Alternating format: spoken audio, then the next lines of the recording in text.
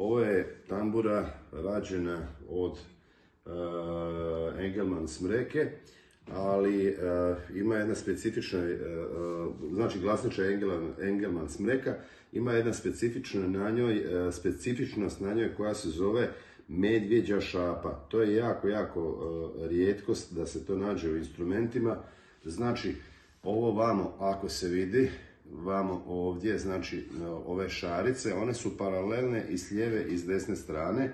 To je struktura u drvetu i to je u glazbalarstvu jako traženo. To zna biti izraženo u različitim oblikama, da se, u oblicima da se preljeva ovako, onako. Znači, to je Engelman smreka ili kanadska, jedna posebna vrsta kanadske smreke, koja je otkrivena, znači u glazbalarstvu zadnjih možda jedno 40-ak, 50 godina i jako je, jako je cijenjena, znači zadnje, zadnje vrijeme je ona top u glazbalarstvu.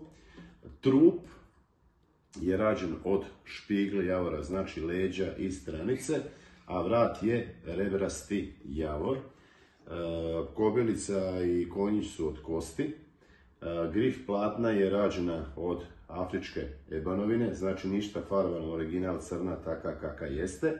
Mašinica je proizvod jednog gospodina iz okolice Novog Sada, znači to su mašinice sa jako kvalitetnom mehanikom i e, rađene su pozore na stare mašinice, znači isti je zazor, zubi, tih puževih koraka, tako da je vrlo, vrlo onaj, ugodno za štimanje.